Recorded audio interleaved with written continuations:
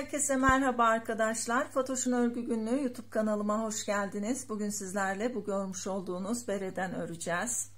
Bu bereyi ben akşam eşime ördüm. Birlikte film izlerken başladım ve film bittiğinde de berem de bitmişti. Ee, ip olarak arkadaşlar Superlana Maxi kullandım ben. Sizler dilediğiniz ipi kullanabilirsiniz. Dilediğiniz kalınlıkta ip kullanabilirsiniz. Fakat bu modelde kalın ip daha hoş duruyor bana göre.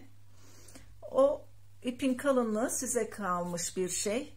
Şimdi dilerseniz beremizi örmeye geçelim. Bunu eşime örmüştüm. Şimdi başlayacak olduğumu da kendime öreceğim. Ve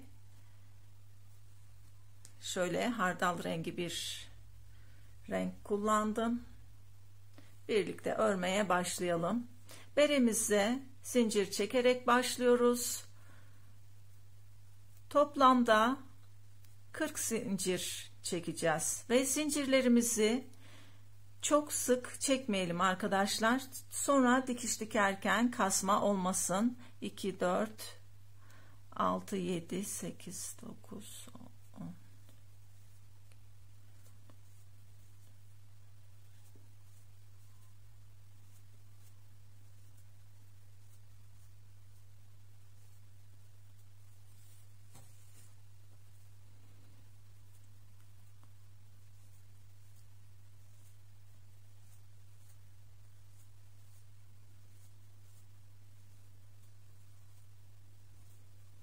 40 40 zincir çektim.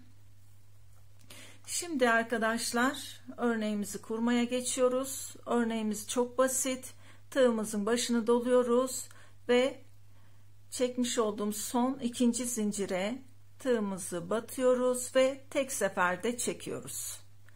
Tığımızın başını doluyoruz. Yanındaki ilmeğe batıp tek seferde çekiyoruz. Tığımızın başını doluyoruz yanındaki ilmeğe tek seferde çekiyoruz. Yani tekli trabzan örüyoruz.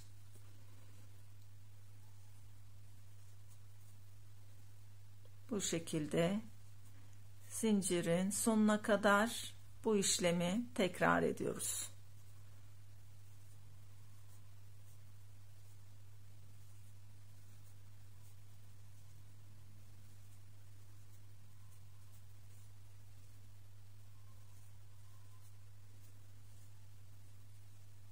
Başını doluyoruz.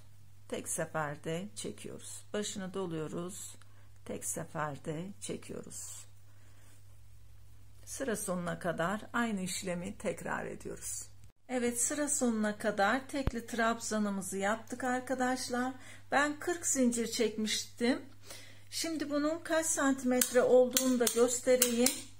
Çünkü farklı kalınlıkta iplerle öreceğiniz için size bir fikir olsun toplamda 31-32 santim civarı bir uzunlukta. Bu size fikir olur. Diğer günlerde kullanmak isterseniz farklı kalınlıkta ipler kullanmak isterseniz. Şimdi geri dönüşte arkadaşlar iki zincir çekiyoruz. Tekrar başını doluyoruz ve ilk ilmeğe bakın ilmeğe ve arka ilmeğe tek ilmekten alıyoruz. Tek seferde çekiyoruz. Başını doluyorum. Arka ilmekten bakın ikisini birden almıyorum. Sadece arka ilmekten alıyorum. Tek seferde çekiyorum. Başını doluyorum. Arka ilmekten alıyorum. Tek seferde çekiyorum başını doluyorum tek seferde çekiyorum yani örneğimizin hepsi bu arkadaşlar farklı hiçbir şey yok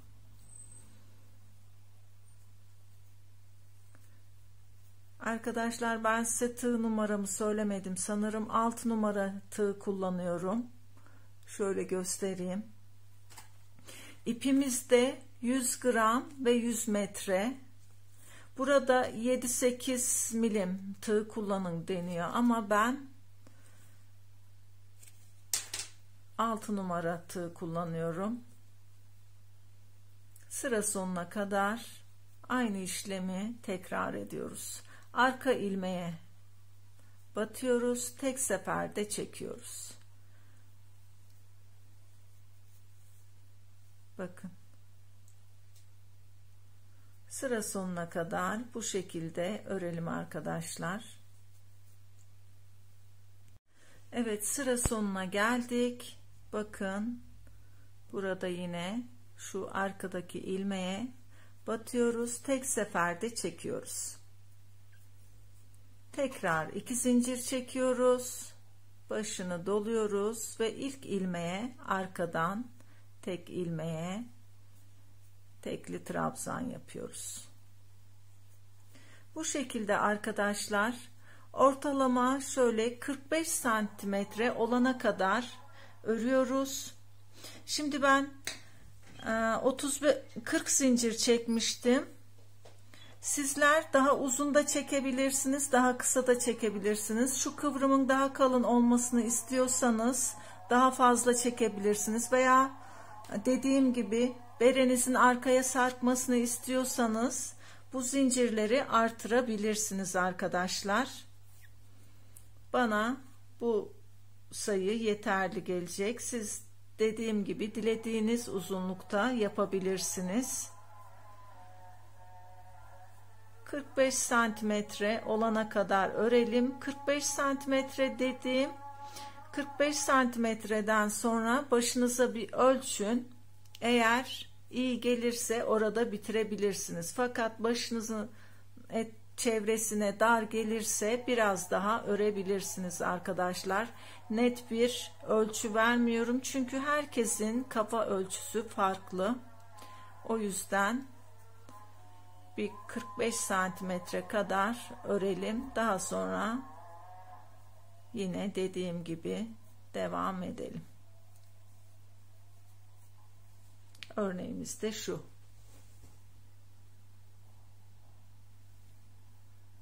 Evet arkadaşlar ben beremizi yeterli uzunluğa gelene kadar ördüm. Şimdi dilerseniz bir ölçelim. Mezurumuzla şöyle 46 45 46 santimetre ördüm arkadaşlar. Daha önce de söylediğim gibi sizler de bu mesafede örün. Daha sonra başınızın çevresine bir ölçün ördüğünüz kısmı. Eğer yeterliyse örmenizi bırakabilirsiniz. Şimdi benim yeterli olduğu için ipimi keseceğim ve dikmeye başlayacağım. İpimi yeterli uzunlukta kesiyorum. Ayrıca arkadaşlar şunu da belirteyim. Bir yumaktan şu kadar fazla gitti. Yani bir yumaktan fazla gitti. Özellikle kesmedim burayı size göstereyim diye. Şimdi uzunca kestik ipimizi. Daha sonra örgü iğnemize geçiriyoruz. İpimiz kalın olduğu için. Şu önce tepe kısmını yapacağız. Tepe kısmını arkadaşlar bakın şöyle şu son yaptığımız başak var. Şu tepede sadece bu kısımları iğnemize geçiriyoruz.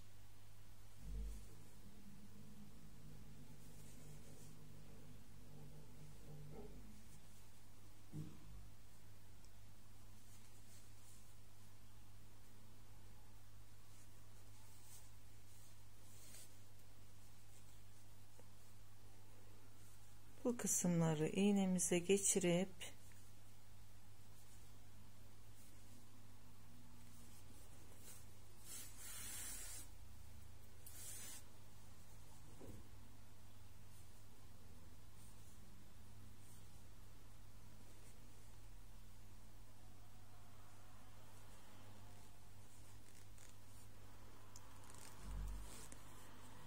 şu şekilde.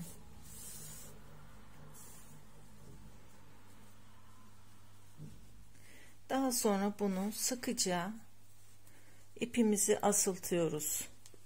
Şu tepe kısmını iyice asılttıktan sonra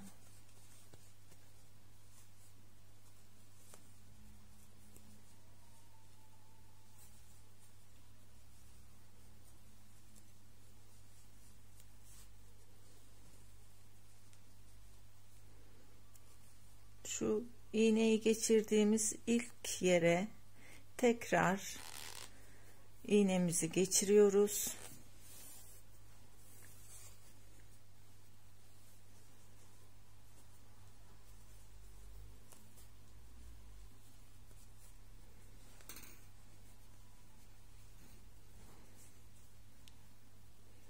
Şu başlangıçta bıraktığımız iple sıkıca bağlıyoruz.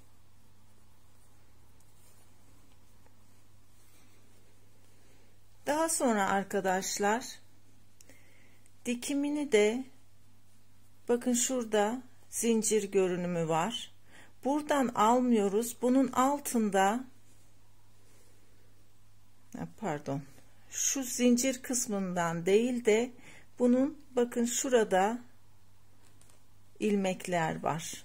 Onunla ilk ilmeklerimizi, ilk yapmış olduğumuz ilmeklerimizi örüyoruz.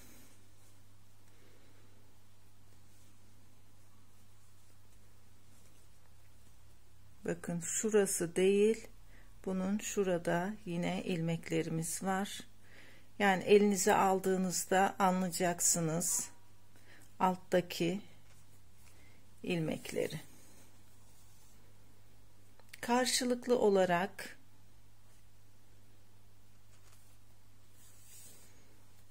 iğnemizi geçiriyoruz. Bakın şurası değil bunun altında yine aynı zincir şekli var. Oradaki ilmekten alıyoruz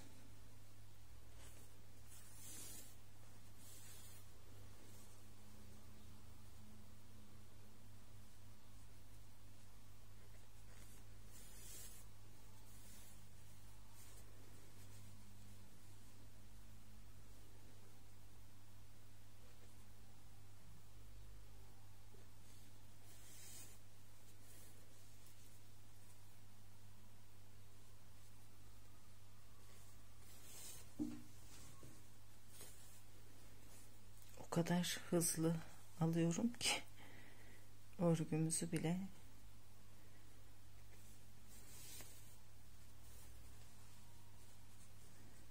Bakın arkadaşlar dikişimiz belli olmuyor böyle olunca. Evet beremizin başına kadar şu kısmına kadar bu şekilde dikiyoruz. Evet arkadaşlar dikişimizi diktik. Bakın hiç belli bile olmadı dikiş yerimiz. Şöyle. Şimdi son olarak pompon almıştım ben. Şu şekilde pomponumuzu da geçirelim. Şöyle tepesinden tığımızı geçirelim.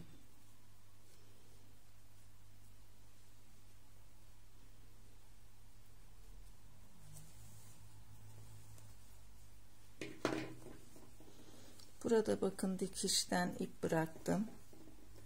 Bunu bağlamak için.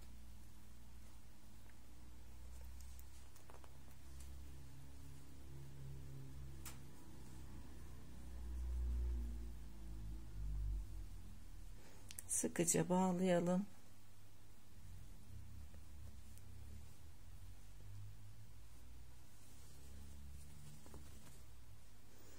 Pomponumuzu salladıkça tüyleri daha da açılacaktır. İpimi sonra keseceğim. Videoyu uzatmak istemiyorum. Şimdi